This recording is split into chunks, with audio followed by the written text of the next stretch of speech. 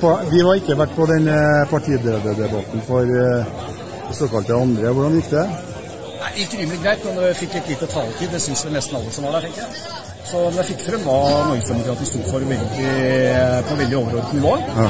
Eh, Men eh, nå ble debatten styrt ganske godt, og jeg, eller jeg vet ikke godt og godt for Blom, men det var ganske strengt.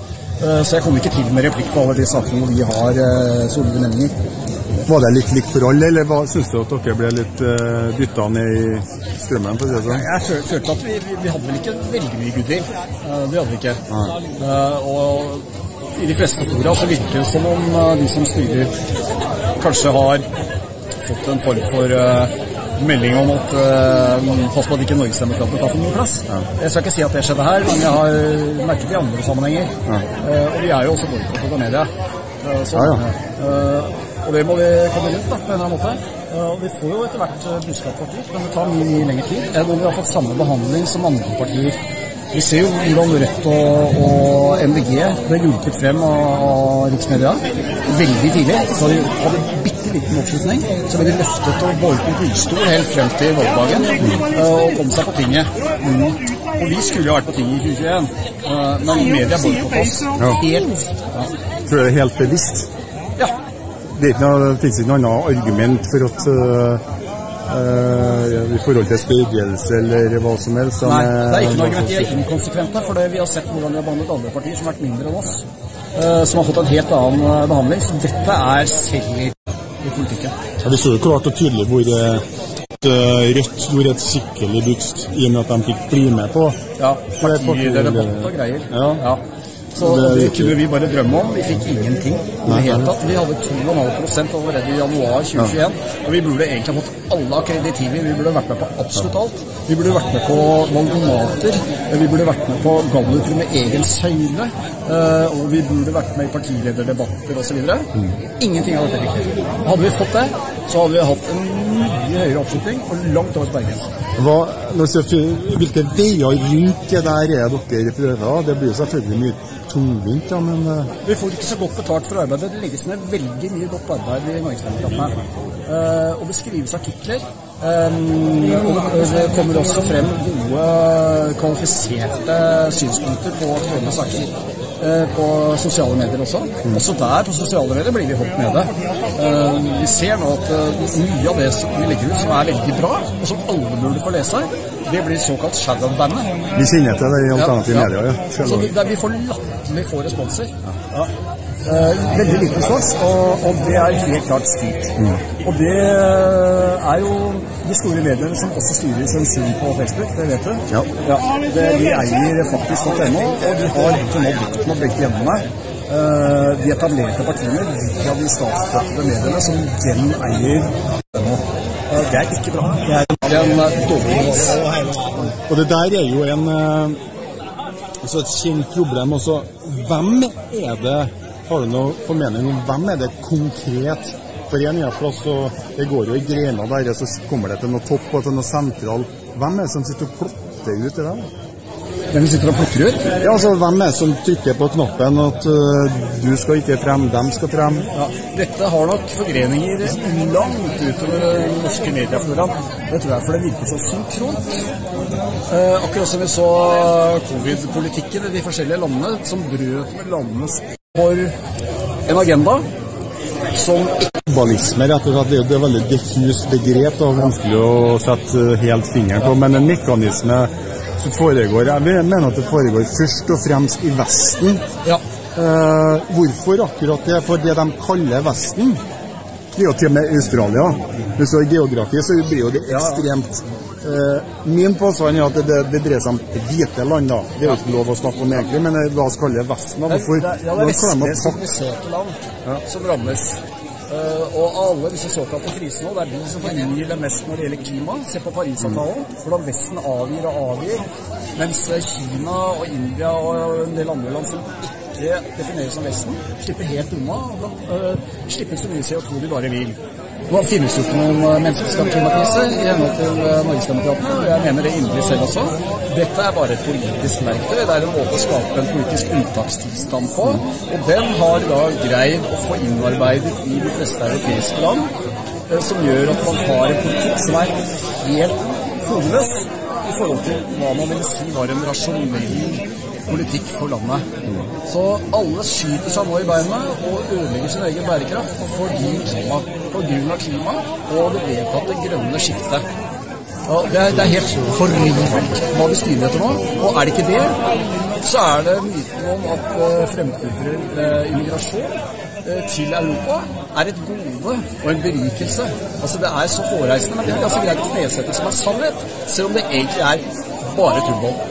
Ja, det, det har jo vært en uh, litt turbulens i Norgesdemokratene i forbindelse med en avgjørelse rundt Ukraina. Ja.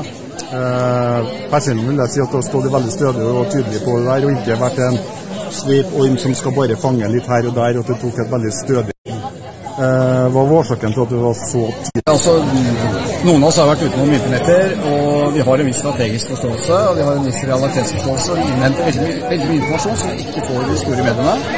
Vi så at her var det flere sider ved saken. og Vi har ingen måte flagget at vi holder med Russland eller velsigner invasjonen, for all del.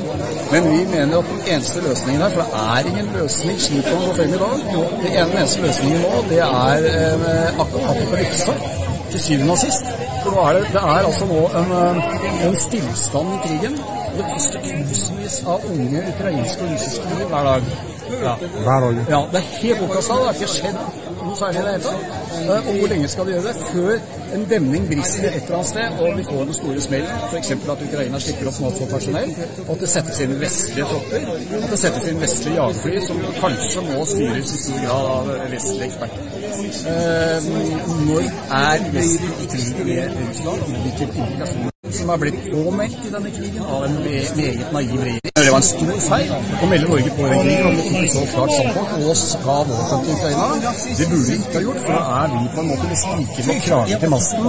Det er veldig dumt. Vi går for, og Norgesdemokratene går for en, forhandlingsløsning.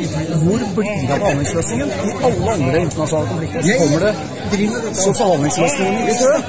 Her blir alt avvist. Primært av USA, dessverre. Ja. Og hva, hva har skjedd med den venstresiden? eh, Ja til fred, nei til Nato, nei ikke send våpen til eh, der det truer Altså Det er jo norsk lov at du ikke skal sende våpen til der områder der det er krig, eller der krig truer.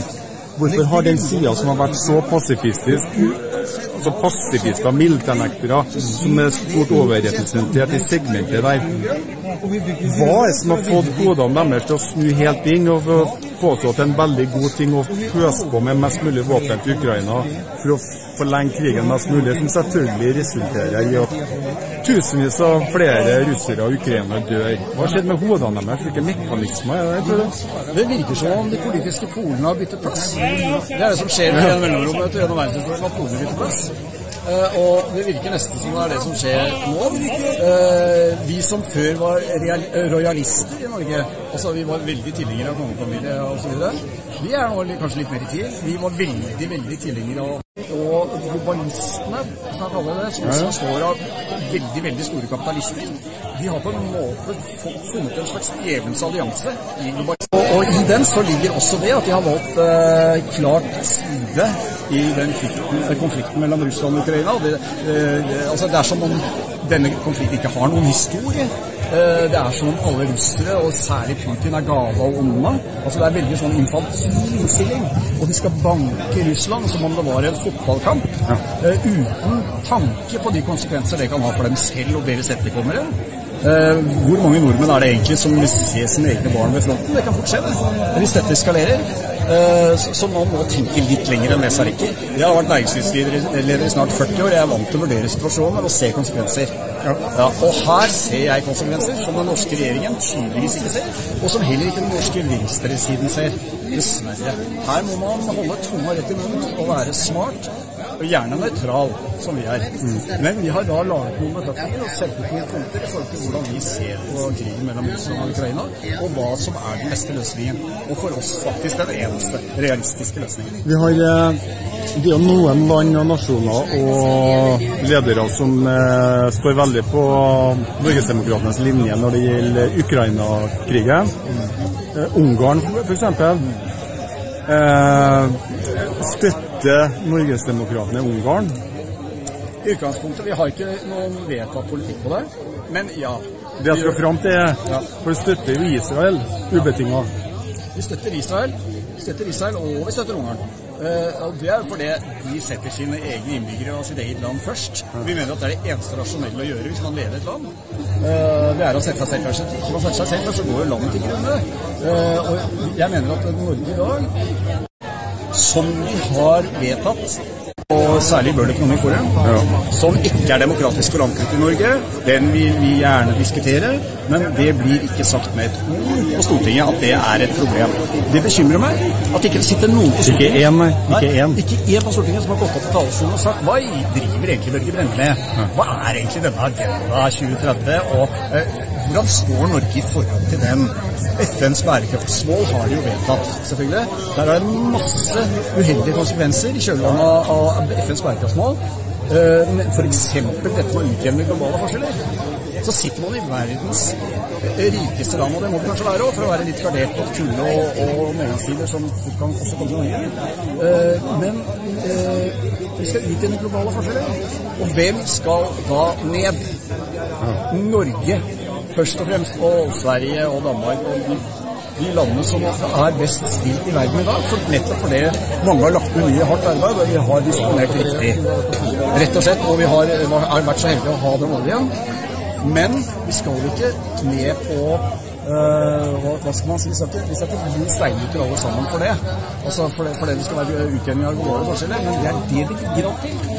For det er ikke sikkert at veldig mange i Asia eller Afrika får noe særlig bedre.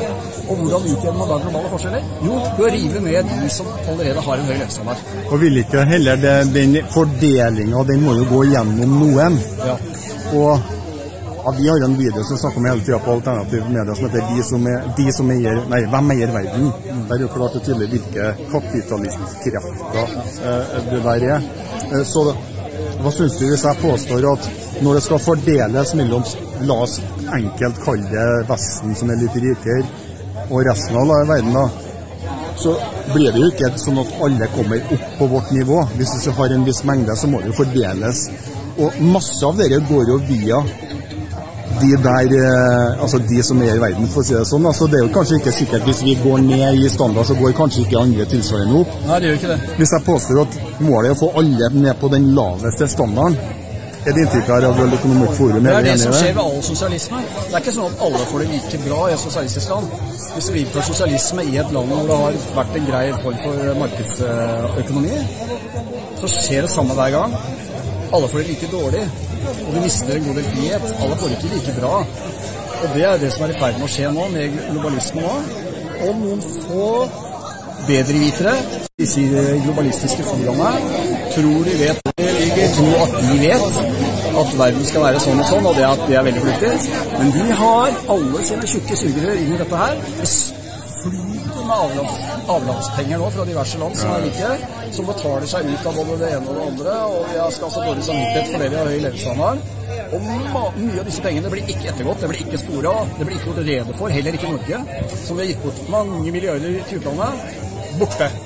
Vi aner ikke hvor det har blitt av. Nei. Nei. Og, og, men det er visse, visse, visse, krefter og visse grupperinger som snur seg fryktelig på dette her. Verden er korrupt, det må vi bare innse.